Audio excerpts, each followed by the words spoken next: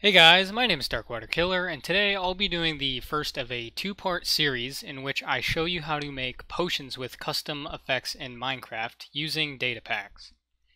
This series was suggested by user Promic2 on the Discord server. If you want to suggest something for me to make, consider joining the Discord server or just leave your suggestion in the comments below. Anyway, let's get into it. As I've said, this is the first of two videos. In this video, we will be setting up our data pack from scratch, creating our tick functions, and setting up our in-world crafting. So, first, I'm going to go to Visual Studio Code and press File, Open Folder. Now, I'm going to navigate to the world in which we're developing the data pack. So in this instance, I'm using a world called Custom Potions Data Pack I'm going to go into data packs and just make a new folder and give this folder uh, whatever name you want. This can be anything that's valid for a folder name in your operating system and will be the name you reference your pack with when you want to enable or disable it. Also, while I just said you can name it anything, you probably shouldn't name it in Minecraft, and in general should avoid using words that are reserved in most programming languages. So I'm just going to call this custom potions. And go ahead and just navigate into that and press select folder down in the bottom right hand corner you should notice that once VS Code opens up the folder, it might show you the welcome page, and you can just go ahead and close that page. And shift your attention over to the file tree to the left. As you can see, the tree is currently empty. So what we're going to do is we're going to right click, click on new folder, and this folder is going to be named data. Next to the data folder, you also want to create a new file. And this file is going to be named pack.mc meta. Open the pack file and type the following information in. So we're going to open some braces. We're going to type pack. Open more braces. The autocomplete is not being friendly right now pack format and type in the number one and description and I'm just going to say created by Darkwater Killer in a YouTube tutorial series and go ahead and save that.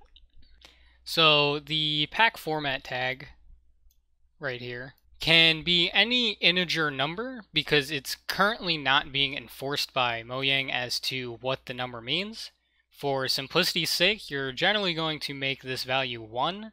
However, this may possibly change in future versions of the game. We now have the bare minimum for the game to recognize our pack as a valid data pack. If you want to check and make sure you did it right, go to Minecraft and load up the world that you're developing the pack in. So I currently have uh, that world open.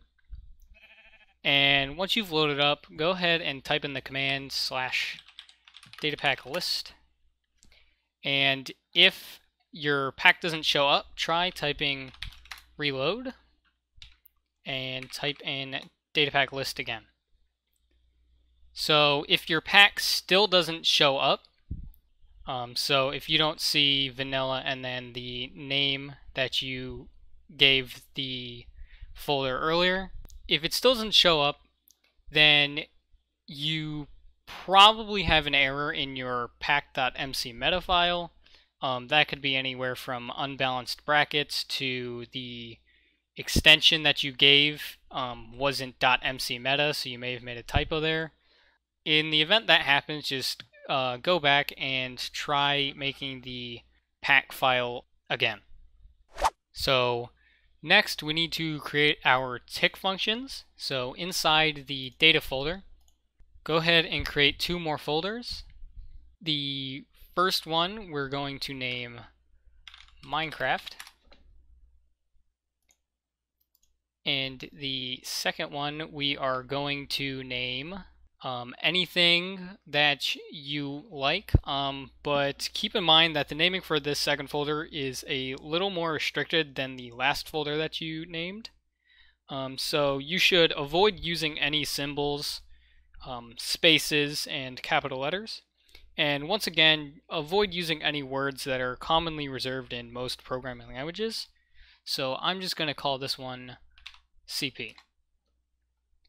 Okay, so um, previously I had an issue where the data folder was messing up and it did something like this.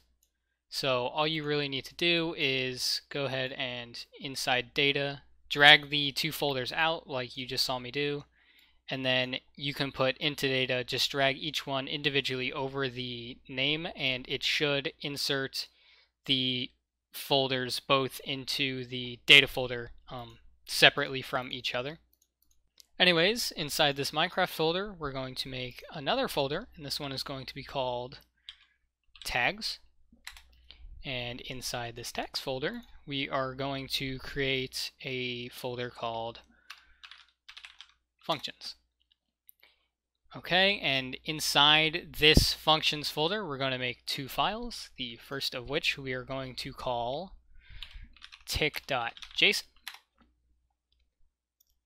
and the second one will be called load.json. So inside the tick file, you're going to open up a root tag and then make a tag called replace and set that to false. And then after that, you're going to make a list tag called values and you're just going to save it like this and just go ahead and select all of this and paste it into your load.json as well.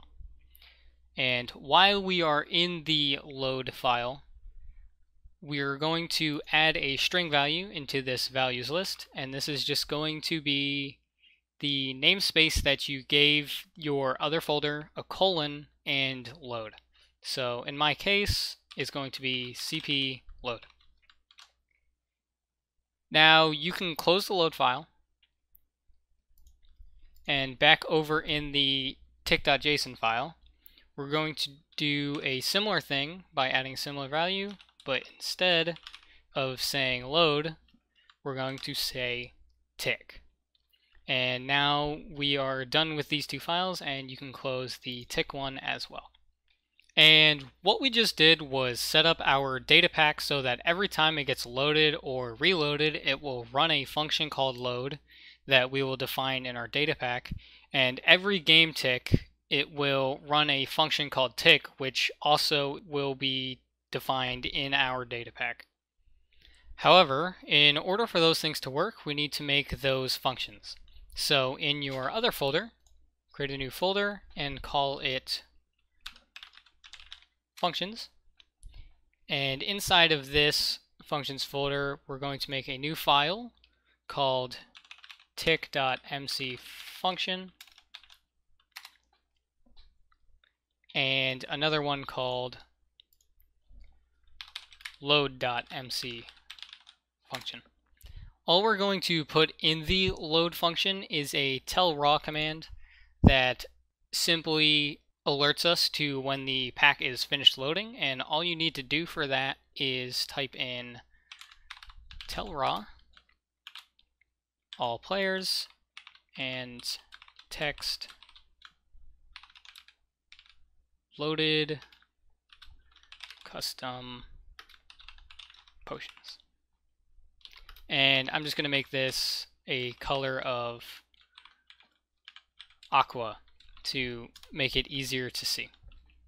And you can go ahead and save that and close the load MC function file. Next, we'll be creating our in-world crafting recipe for a potion. So each potion you create will need to have its own recipe function. the potion I will be creating in this series is one that summons lightning wherever it lands. So with our tick function open, we're just going to add the line function cp check crafting. And we also need to create a new file with the name of check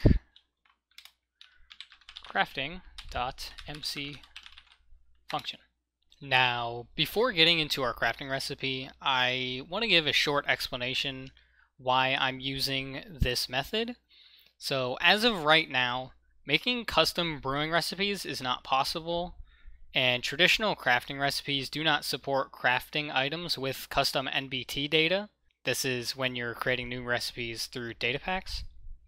Most people will use a method where they make a recipe for a spawn egg and instantly replace that egg when it's in a player's inventory and they will retexture the spawn egg using a resource pack.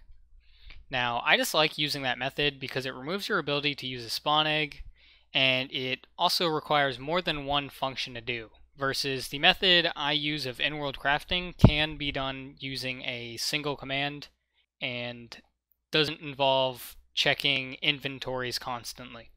Anyway, in the check crafting function, we're going to add just one line. Um, however, this line is going to be quite a long amount of text, but it is as follows.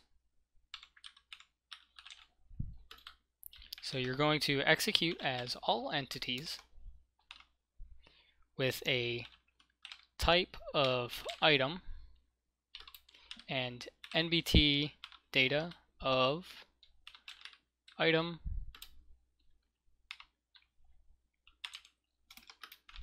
ID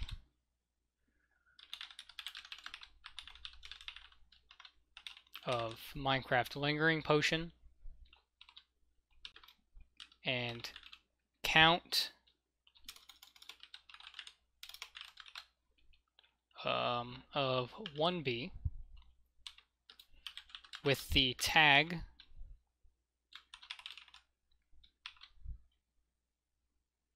of potion Minecraft water. And I'm just going to space these out to make it easier to look at. And we're going to do that at that selected entity only if the entity is near another item with the NBT of item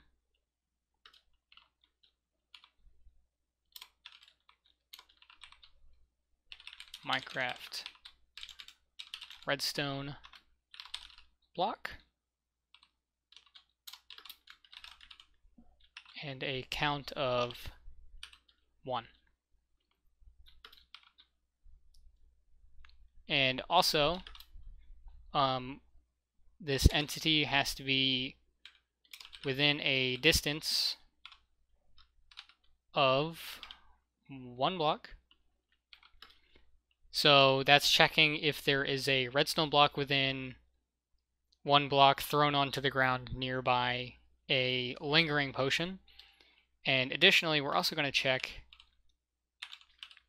just about the same thing. So I'm just going to if entity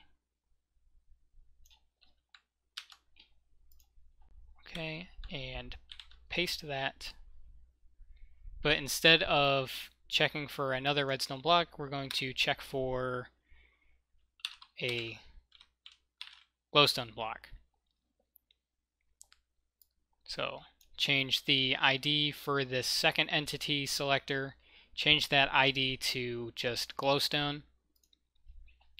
And so if there is a redstone block and a block of glowstone thrown on the ground next to a lingering potion of just water. We are going to run function cp summon lightning potion. And you can go ahead and save that. Now, after that, you can create yet another function, and this one is going to be called summon lightning potion.mcfunction. And in this new function, you'll want to type the following lines. So we're going to kill all entities of type item within a distance of 0 to 1 blocks and NBT data of item ID redstone block and a count of 1. And we're also going to limit this to just one. Okay, so we can go ahead and copy that line and paste it on the next one, and instead of redstone block here, we can just replace that with glowstone. And go ahead and add another line where you make the entity that is running this, so this is going to be run by the lingering potion that was thrown on the ground, and you can go ahead and just make it uh, kill itself. So that removes the three items from the ground before finally summoning a new item. It's going to be summoned at the location that that was at. And it's going to have the data of item, ID,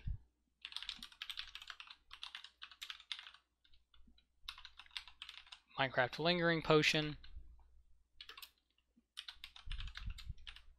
count 1b, tag of display, and we're going to give this lore that just says zap and a name of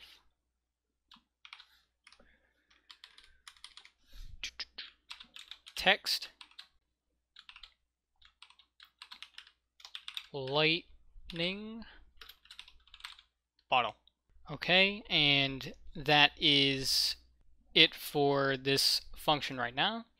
So um, the important part about this is the lore tag in the summon command, and that's because we will be using it to check if a thrown lingering potion is one of our custom potions that we create in this data pack, or if it was just simply a lingering potion renamed by the player, because you can rename any potion to lightning bottle and chuck it, but you can't change the lore tag in a vanilla survival.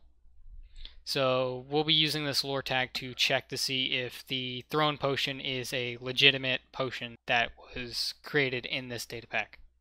If we head over to the world that I have this pack loaded into, we can now test our crafting system. And so I'm just going to reload the data pack. Okay, and as you can see, it says that our data pack has been loaded um, in the chat. And so now that it's done reloading, um, I'm just going to go ahead and grab my ingredients. So we need block glowstone, block of redstone, and a regular lingering water bottle. And if I throw them onto the ground, you will see that a potion called Lightning Bottle with a lore tag of Zap is summoned, and the three items that I've thrown on the ground have been deleted out of existence. So this is like the potion that we'll be using. And um, there's just one last thing that I want to do for this data pack. So the one thing that I just want to do for looks and like special effects just to polish up the data pack a little bit more is we're going to add a particle effect and a sound when a potion is crafted. And so to do that, I'm just going to add two lines to the summon function for the potion. So the first command that I'm adding to this function is just particle Minecraft poof. It's going to be at that location and the spread on that is going to be zero. The particle speed is going to be not 0.125 and we're just going to make it summon 10 particles. And the second line is going to be a playsound of Minecraft entity. Should be Minecraft colon entity dot generic dot extinguish fire. And we're going to play that on the block channel. Um, just so um, it gives a certain channel where you can reduce the sound of the potion crafting if it's too loud for some reason. And we're going to play that for all entities that are within a distance of 0 to 5 blocks.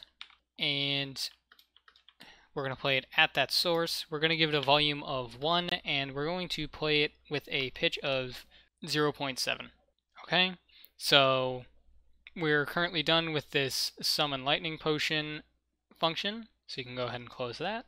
And so one last time we're going to go into the world and we're just going to reload, wait for that message to pop up, and go ahead and craft another potion. And you'll notice now that whenever I craft a potion, it has a particle effect and it plays a sound and that will happen each time as you can see again